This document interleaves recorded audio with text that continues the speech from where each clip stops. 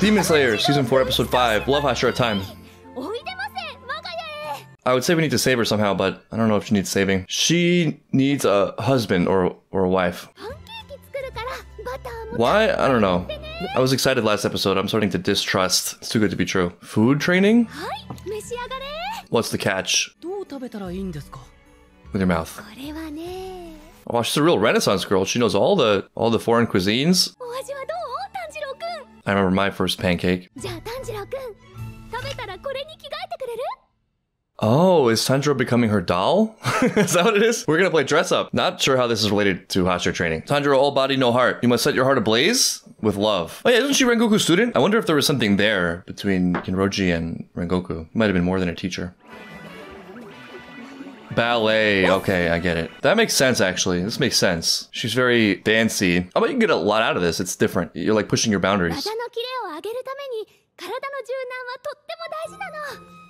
I have thought about this, like, just given the law of marginal learning, where with a lot of things you experience the, the biggest surge in growth from zero to non zero, you know, the first couple lessons, even just knowing what something is, there is really no substitute for specialization. However, there is something cool about dabbling at the entry level to intermediate level of like a huge spectrum of things. Like, try everything once, you know? Like, how much would you understand about the world, your mind, and your body, etc., etc., if you just tried like everything there was to try once, you know, or for some short interval? Like, try ballet, try yoga, try running, try heavy weights, try calisthenics, try basketball, you know, etc., etc. And that's just athletic activity. There are a huge range of, of categories art, music, mental pursuits, creative pursuits, social activities. A person's first trip out of their own country is significant. I've realized that a lot of people who have lived in multiple places abroad, if you ask them their favorite place, it'll typically be their first. It's one of those things where the rationale will be an arm of the feeling rather than the feeling being a result of the reasons. So people will love places I've hated for the same reasons I love the places that I love, if you get what I'm saying. And I think that's partly because of that massive feeling of growth and discovery you get when you first live abroad, which you then come to associate with that place. This is not a life philosophy you hear talked about often. We focus much, much more on picking one thing and mastering it, or a couple things. And that's probably for good reason. I think that unlocks things that this strategy never will. Nevertheless, I think this is something to consider and might actually be really great for a certain kind of person. There's a lot of ways you can grow, put yourself in situations where unexpected things can scale, you know, going from that zero category to that something is happening category. Things that seem scattershot and random at first sometimes join and create a pattern. You will learn a lot by this sort of survey approach to activity and life, and the variety can be really interesting and rewarding. Tanjiro might, I mean, conceivably he can get more out of this than, you know, the sword fighting, because he's so good at sword fighting already. He's never done ballet, or whatever this is. This is gonna hurt, this is gonna suck, yeah.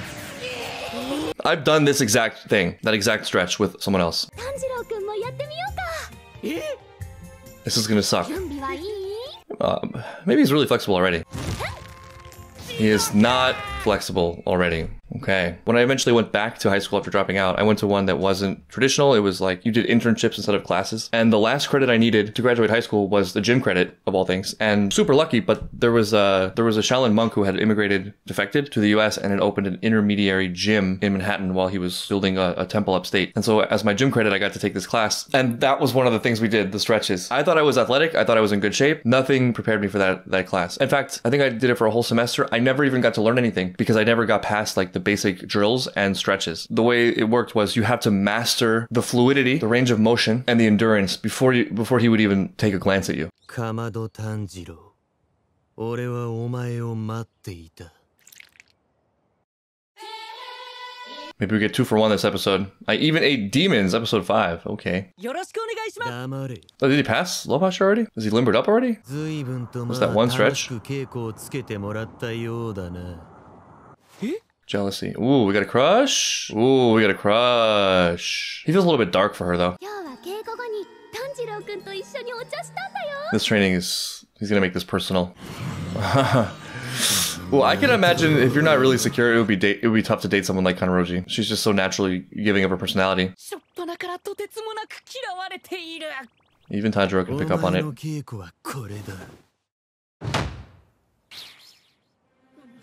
Oh, oh, this is what we're doing? What's in it for the, the grunts?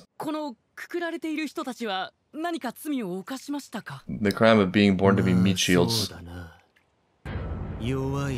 Yeah, basically. I thought the other guy was the mean one. Wow, I feel Tanjiro's crash personally. I was already for a Love Hashira episode. I was looking forward to it. So we get Torture Dungeon with Smiles McGee over here. For some reason, I thought it was going to be like mechanical and move. Yeah, you can hit him. They're used to it. Too slow. I could see this coming in really useful in like a huge demon war. He was waiting. We just abandoned the exercise for a personal fight. Oh, they're fighting through them. Um, he would never. He would never hit one of them. 太刀を入れるい呪い It also seems to fit his power really well. What the preview we've seen of it, where like it's not linear. He has to navigate through space with his snake thing. He seems like a precision expert, precision master. これ本当にヤバいだってこの人の立ち筋異様な曲がり方するんだ Right, right. That's his thing. Oh, we can do it even with the wooden thing. Can you learn this? Can we learn this? It's pretty cool. これは相当正確な立ち筋で刀を触れないと大惨事だ I mean, he's got it in him. We- oh, whoops. Tanjiro's pretty damn accurate, but usually doesn't have meat shields in front of him. He took a loss. This seems like the first time he's actually struggled. We found a weakness, besides stretching. He's gonna attack it. And they had a pretty easy physical day, all things considered. Why are they tired?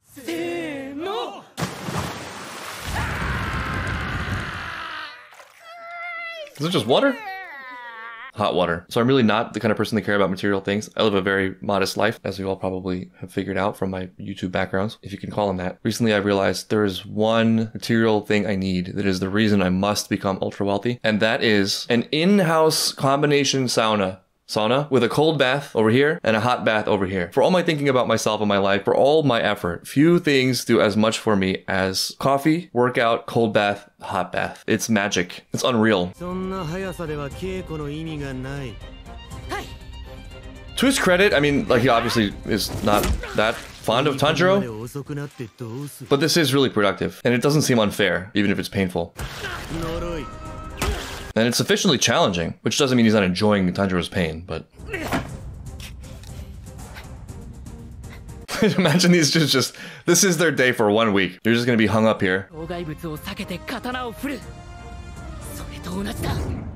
You've been here before, it's just, the fear is a little bit of an obstacle here. There you go. This is definitely gonna come in handy. It's really cool. He doesn't really leave you much room. Oh, cuts. He bleeds, sort of.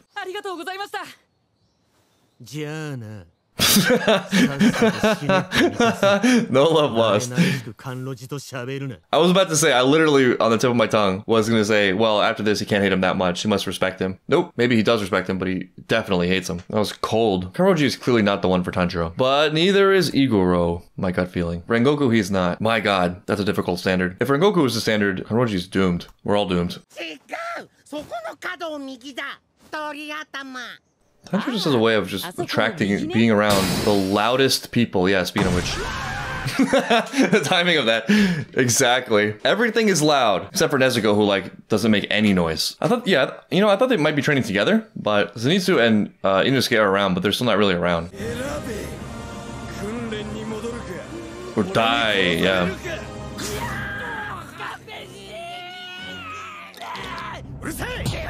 He chose death. 今日から訓練に参加させてもらいますよろしくお願いします So innocent. 俺はてめえを認めてねえからな Yeah, we got old 全 beef. 然大丈夫です俺もあなたを Interesting that- 認めてないので Okay, yeah, I was wondering if that was there. Right, right. Okay. In a weird way, it's a relief to know that's there. But it's so funny that in that moment, it's so clear that Tanjiro's energy coming into this is all wrong. That was pressure that had to be vented. Oh, we're getting three in one episode. This guy is, in some ways, the other side to what we just saw. Well, Iguro is sort of flashy, curved, liquid. He's more simple, straight, fundamental, it feels. Though he's also win, so. With the fist. Ooh, backslap the hell out of him. Oh. Okay. We found a problem to meddle in.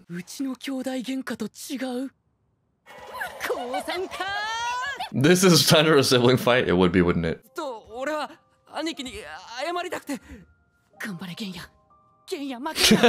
yeah, Thunder invested in this drama, in the plot. Don't know what happened, but he's obviously wounded himself. Is that the source of his power? I, I, I don't think that's going to land the way we thought it would. Oh, God. That was intent to blind. This just became a real fight. And Tanjiro, you know, has so much emotional sway with this dude. Is he like hulking out? Is that what it is? Is that what the veins are? Oh, he's hulking out. ゲンヤを殺す I wonder what advantages and disadvantages that 殺 brings. しゃしねえよ Oh, he's still talking. 殺すのは簡単だが Just take his eyes. さっき弟なんかいないって言っただろうがゲンヤが何を選択したって口出しするな才があろうがなかろうが命を懸けて鬼と戦うと決めてんだ兄貴じゃないって言うんなら Wow. I love that Tanjiro's using this sort of logical argument. Pick a lane. Is he your brother or not your brother? Do you care or, or, not care? Make up your mind. Obviously, there's a huge letdown here. Can you do something to him? Since it's Demon Slayer, maybe it's something like he's responsible for their parents' death, or it's one of those things where he's actually not responsible for his parents' deaths, but he feels guilty, like his brother saved him instead of his parents, something like that. But if I had to guess, based on zero evidence, the real anger is not directed at Genya, but directed at himself. Genya is just the face. It's a convenient target, and outlet, which a lot of the times is the case in family drama. It's self-loathing and insecurity priority taken out on someone else. Typically convenient, weak targets. This is true. How many upper ranks have you defeated? Then show me. This is a menace. The stakes of this just skyrocketed. I mean, the rules have been broken. You can step in now. You don't need to let this be one-on-one, -on -one, although Tanjiro would want it to be one-on-one. -on -one. Oh, there it is. There's the real Tanjiro. The way they are drawing and animating all of these enormous bruises. Seems like he's breaking style a little bit. in his emotion. Maybe he has two modes. Why don't you get an adult? Get the Earth dude. Come on, man. Come on now.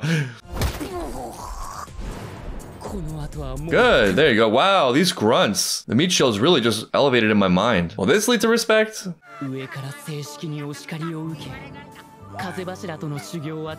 Oh, it's not complete. The Wind Hunter didn't get any discipline? We're trying to blind Genya and attack a student? Whoa, this is an odd moment in the show. But this is going to come back around. Tanjiro failing? Wow. There was a chance for this to get resolved. That would have been the, the clear and obvious choice. But like, the bad blood just deepened. I don't know what, I'm tr still trying to think. It's so well done. You just feel it. You feel that it can't go well from the onset, their first moment in this episode. He just doesn't want there to be anything good with Tanjiro. He gets something out of hating Tanjiro. Tanjiro Tanjiro cannot win that with earnesty. The game is rigged against him. Huh. I've also done this. yes, I'm waiting for this guy. I've been most excited for him. Yes, this is gonna be so cool. I can feel it. He just has a different presence, different energy. This episode was wild. Like, we basically took our time through the first couple people, the first couple of Hashira that we already knew. It was sort of like a hello again, you know?